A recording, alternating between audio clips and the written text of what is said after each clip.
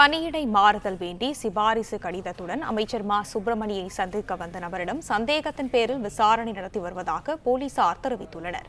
இதை பற்றின மேலும் விவரங்களை எமது செய்தியாளர் கதிரவன் வழங்க கேட்கலாம் கதிரவன் வணக்கம். விவரங்கள் என்ன? பகிரலாம். சென்னை பசுமை வழி சாலையில் உள்ள சுகாதாரத்துறை அமைச்சர் மா. சுப்பிரமணியன் அவர்கள் இல்லத்திற்கு இன்று காலை ஒன்பது முப்பது மணி அளவில் திமுக நிர்வாகி ஒருவர் வருகை தந்திருக்கிறார். தன்னை தேனி மாவட்டத்தைச் சேர்ந்த முன்னாள் மாவட்ட பிரதிநிதி என்று அறிமுகப்படுத்திக் கொண்டு அவர் ஒரு சிபாரிசு கடிதம் ஒன்றை அமைச்சர் அவர்களிடம் தெரிவித்திருக்கிறார். தனது பெயர் ராஜா என்றும் அவர் அறிமுகப்படுத்தியிருக்கிறார். குறிப்பா திருவண்ணாமலை மாவட்டம் ஆரம்ப சுகாதார நிலையத்தில சுகாதார ஆய்வாளராக பணிபுரியக்கூடிய பாலகிருஷ்ணன் என்பவர் தனது நெருங்கிய நண்பர் என்றும் அவர் திருவண்ணாமலை மாவட்டத்திலிருந்து மதுரைக்கு மாறுதல் வேண்டி இந்த மனுவை அளிக்க வந்திருப்பதாகவும் தெரிவித்திருக்கிறார்.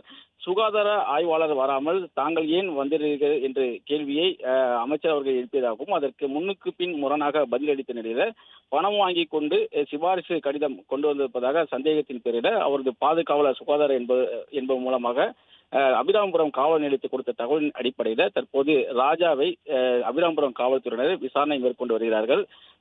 அது அது மட்டும் இல்லாமல் சுகாதாரத்துறை அமைச்சர் சார்பாக புகாரும் காவல் நிலையத்தில் அளிக்கப்பட்டிருக்கிறது. இதே போன்று எத்தனை நபர்களிடம் பணம் வாங்கி கொண்டு சிபாரிசு மனுக்களை வாங்கி ஏமாற்றி மோசடியில் ஈடுபட்டுள்ளாரா என்ற கோணத்தில் விசாரணை நடைபெற்று வருவதாகவும் அமீராபுரம் காவல்துறையினர் தெரிவித்திருக்கிறார்கள். தொடர்ந்து இந்த ராஜா என்ற நபரிடம் விசாரணையானது நடைபெற்று வருகிறது.